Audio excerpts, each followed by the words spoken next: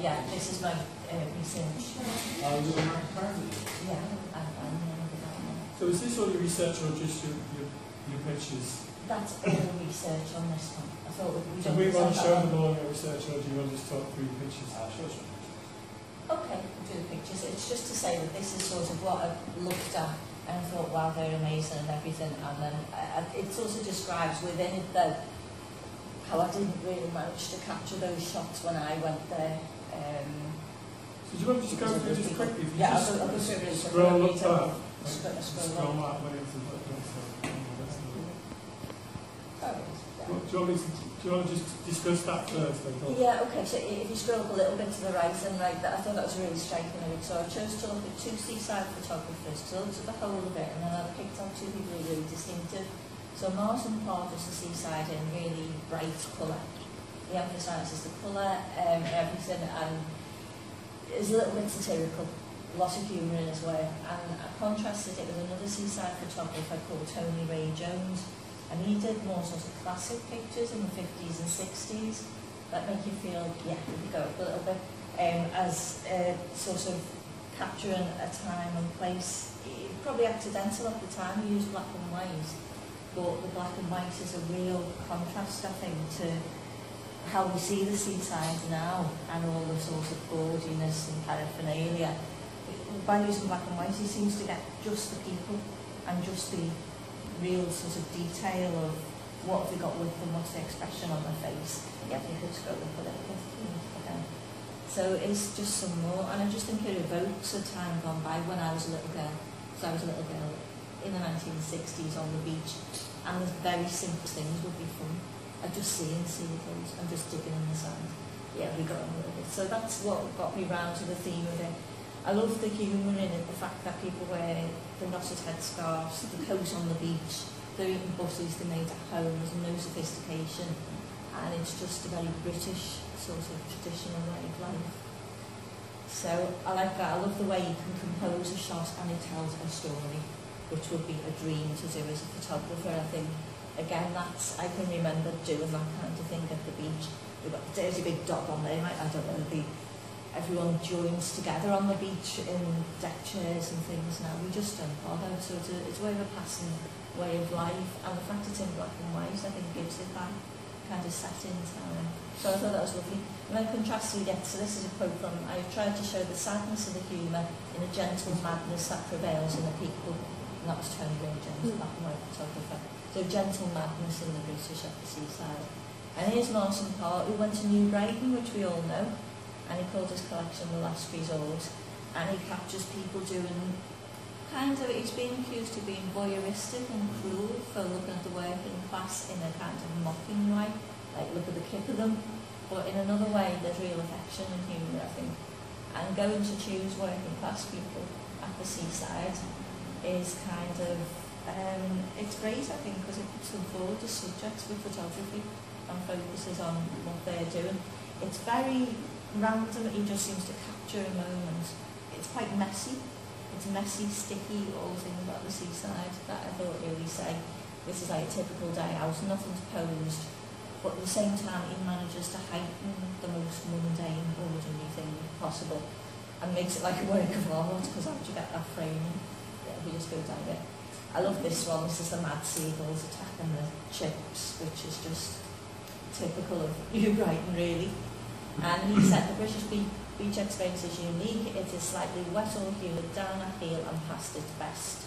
Literally framed at the edges and of course full of ironies and contradictions. And I think that's what I went to the beach looking for. Because I thought there's going to be a sense of humour there, but can I get it? And then, yeah, to up the seaside news of loads and loads of photographers. Since Martin Parr, people have been trying to take the mick a bit. And some people are doing the more traditional bit. Um, and a lot of people are just going to see it's fading away and capture that sort of faded glamour. And I was wondering whether there's going to be a future for seaside resorts, whether they're going to put more money into them, whether Brexit will have an effect, whether um, cleaning up the environment will have an effect, and which case just get rid of plastic and stuff. So that's it for the research anyway. That's good, that's brilliant. Um, so, then, All right, now here's my photos, not all of which captured anything like the humour or the framing or the narrative I have to admit. Uh, this is just one lone kid on the beach, and it didn't turn out all about that. It was just, I'm afraid, I got the photos together a little bit quickly at the time. But you can see the child, and um, can see the beach, and it's just that memory Yeah, of. you took this one. Yeah, I, I took that. These are all kind of mine forgot about the rule of thirds there, didn't you? But is that deliberate though? Did you deliberately want I did. the, I, the I wanted there? them to look completely isolated against, yeah, yeah, which is just sort of But I still think you, Yeah. you, you use your rule of thirds and you've got them in this corner. yeah. Well, I thought it You know was in the four corners? Yeah, yeah. Mm. It's in. I To think me. you look at it. And I'm trying to exaggerate the fact that it's Okay, and, and this is what I like, because you've Yeah. put a bit of text explaining what you're doing, how you're working, Yeah. what, about So I thought I chose to visit local seaside resorts, New Brighton and ah. Oh. Southport, Yeah. and I was looking for, is it faded, is there still a point to it, do people still visit? So I went to Southport on a sunny bank holiday, and I went to New Brighton on a pretty grim day, and I was just looking at, is it still there, does it bring back any memories for me, are people still attending? And this is the, these are pictures I took. So there's the, the entrance, uh, before Funfair still Brighton in a dull world, world, so what's not to No, like? can you just hold that so we, so the stands are off? No, no, no, that, that'll do. Oh, oh, that way, or that way? Yeah, yeah, yeah. Okay. Just, it's just getting the whole. Well, I mean, if you all share your stuff on Edmodo, you know, get on there and let everyone see stuff properly in the dark at home and you can see it a little bit better. Well, this is a great way, what, Thomas done is absolutely spot on, it's excellent work. And the photographs I've seen of them are really good. You carry on. So this one I caught on the hop because I saw bubbles and I turned around, where's the bubbles coming from? And the little girl, I've got two pictures of her. This is probably the most full-on shot of her. The other one she looks even more delighted. And I love the fact that it captured, there are some little kids who still think it's brilliant. It may be in the middle of Southport, it's not Disneyland, but I'm having a great time. And she's the only one on the ride who just didn't care. And I just love that, so I thought I captured it just to say that it's something times about children playing out. Um, this shot again, I've got quite a few people on carousels. It's nice to see there's people, you know, that there are different people, different ethnicities now going to the seaside and taking it on as being part of being British. Um, and I've got lots of little carousel shots, perhaps it could be bigger. Uh, and I've put underneath that this was a ride I loved as a little girl. I was absolutely fascinated by uh, what my mum called the bobby horses, like police horses. She'd say, do you want to go on the bobby horses? And I'd, every time, and, I, and that's all I'd do. So I wasn't great on the high ride, I was always on my favourite horse. Um, this is just to show um, signage and how those bright colours are still there, and how they shout out to people and how you know where you are. You couldn't fail to spot you off the seaside. Also put that there's sort of American influences, and then you've got a Bavarian beer made, and there's a little bit of different cultures, even though it's so British. Um, Looks I'm not- tasty. not trying to do food photography, but I just thought you can't have the seaside without fish and chips. So, uh, I did buy to eat actually, because I was on a day out. Uh, so that's just a bit of British tradition. Um, these shots again just said to me, shouted Southport and Britain, and you can't really see that much, I'll do it bigger, but it's the South Southport jet cruisers, and it hasn't changed one iota from when I was little, and you go down to the Marine Lake, and you go, can I go on one of them boats? On one of them boats that you've got the motor, dad, dad, dad, can I go on the motor boat? And uh, it just seems exactly the same now as it was then. Not sure that's good or a bad thing. You do know that you can click on the they're in presentation mode and very good. All right. So, and you just to escape for it to go back. So, and this little girl, I got down and I was like that because I saw her coming and she just seemed to be having a whale of a time. And all the grown-ups are sort of out of focus deliberately and everything, so I wanted to zoom in on her. Um, it was a sunny day, but she was just a, a really sunny, bubbly little girl. And I was really pleased again to see kids having fun. Um, that was with me trying to do that with a telephoto lens to catch people on this ride because I was thinking, oh my lord, oh, how can we do it? And I stood there for ages just getting into the atmosphere. The screams were unmerciful, as they were on this ride. which went just so high. It was unbelievable. So I wanted to capture the It does capture though. I mean, it, it looks like they're in a different climate. You know, it looks like they're nearly out in space. Don't forget to fill the forms in for Oliver Shears and for whoever it Yeah. is. So yeah, I wanted to say it was sky high and capture that sort of thing. Um, I went into one of the arcades. I probably needs to be made big. I could have chosen some better ones for this, maybe. Sorry. Um, but I love the the glow and the invitation of all the shiny coins. Uh, this is in I don't know if you know, but Silcock's practically owns Southport. The name is on everything. All the arcades, all the attractions owned by Silcock's. Well, I went in with the camera on a strap and probably got thrown out by a bouncer uh, belonging to Silcock's and he said, do you not be taking photos of our stock? So I don't know what he meant by that, but he was quite, you know, woo, uh, thinking that I must have been there for, some other reason. Anyway, so I managed to grab that one while I uh, got a boot up my bum. Put that into your health and safety aspects. Ah, Uh, and and and can reference, you know, uh, actually asking for permission and stuff like that.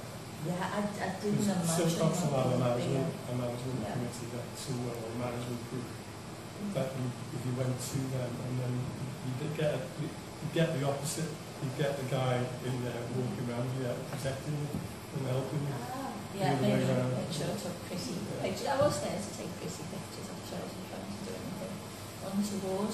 Uh, this one's actually a machine at New Brighton. If we go like back up to the top of it a little bit, oh, it goes might have all shown up. Can we make that one bigger? Oh yeah.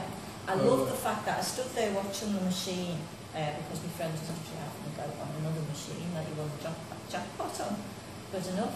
And while I was standing there looking at it, this it showed a little picture of Elvis that said, put your money in the slot. And then it came up with 100% random.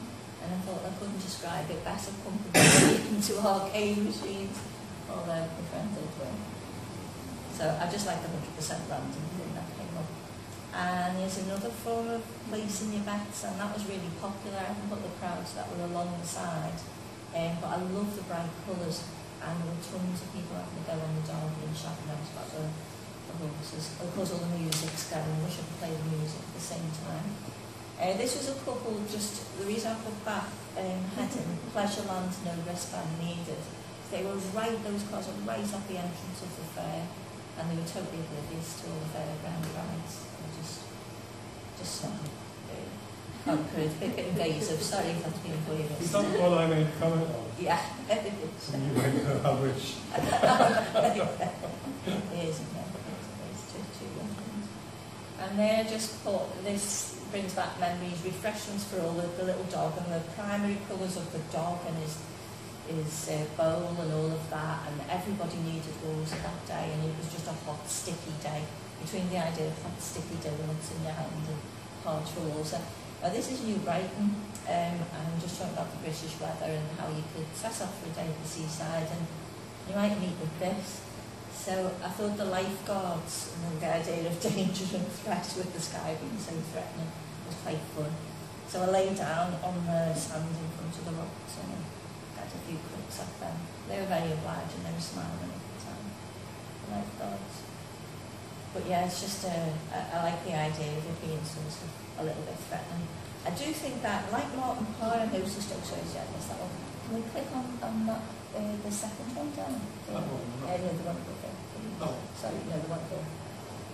Yeah, the long thing one. If you get it, stop at it. Um, yeah, like Martin Parr, I thought New Brighton does sort of lend itself to a bit of a, a weird scenario. It looked almost apocalyptic, I thought.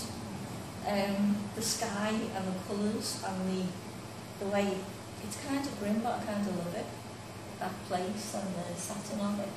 And it, it, it doesn't seem like a particularly great photo. It appealed to me because of the light and it's hardly touched at all. It just was a day of really deep clouds. Um, and there's a little old mum and a little girl at the beach and apparently doing nothing but it's the, the fresh air and a day out, just simple. Uh, and some prettier views maybe to try and make up for New Brighton being made out to look a bit rot. um, and here just, I found the, these two children, Southport Beach, playing at the end of the day alone. It was a big brother and his little sister. It was very obvious. I stood there for about 15 minutes watching them. and the light did change. It's slightly enhanced in, in light blue, but the light did change. Oh, it should, it should, click on it, it should change. It should do the light show. I don't know if to click on it or something happens. Go on away. Accesses it, yeah. Um, No. we just go, oh, meant to be three pictures, but I didn't want into the other works on my laptop. Nah, it's crap. Oh, it's um, it goes to that light, to a deeper light, to the golden hour, it goes gold. Yeah, it is just changing. Right, if you have, Is it changing just wait? if you keep moving the cursor, you move it up or down. Yeah, keep moving it. Watch the picture; it starts to change shape. Oh, yeah. Talk about yeah. let's put it over. Do I? Well, no, don't worry. Have you have a little fiddle You just do, yeah, ju- just do a little tap down, maybe. It's closed, oh, so sorry. Because that's it. It might be because I had it on full screen. Well, it doesn't matter. We can work that one. We can work that. It's, yeah, it goes into the golden hour and the silhouettes change across the thing. So that was meant to be pink, yes, to resistance, but it doesn't work. Yeah, and then I just put where memories are made and I put this, that's my partner shot, it's all about the memories maybe and hopefully they'll get some money put into Seaside Resort and they will prosper again. Okay, right. Um, you've all got a good idea there about what you